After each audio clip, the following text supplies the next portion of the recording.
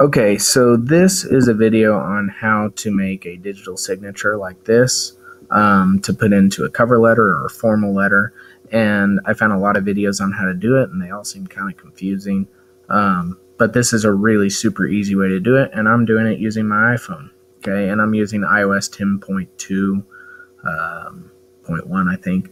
Um, you could probably do it on a an Android phone, but I'm using an iPhone and what I'm doing is I'm going into my messages app, okay?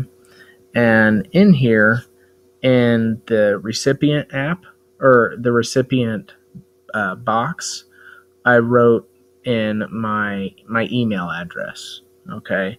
Instead of um, like uh, somebody else's phone number, I wrote in my email address.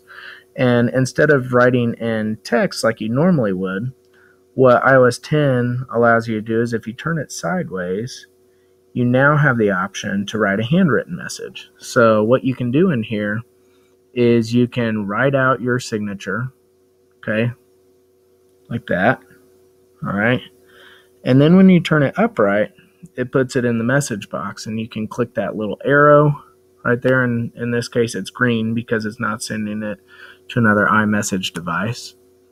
And then when I send it, it's going to go to my email inbox. Okay. And when you go to your email inbox, um, the sender is going to be um, your uh, phone number. Okay. And when you click it, you can, um, you know, you can make your your picture bigger here and you can copy it. Okay. And I'm just going to go into a Google Doc so you can kind of see what you can do with it. But um, then you can go ahead, paste it in there, and if you do a right click on there, you can crop your image just like this. You can crop it in close, like so. You can resize it, okay, um, to whatever size you need, and then you just put in the document where you need it. So that's it. Really super duper easy. So, anyway, hope that helps somebody.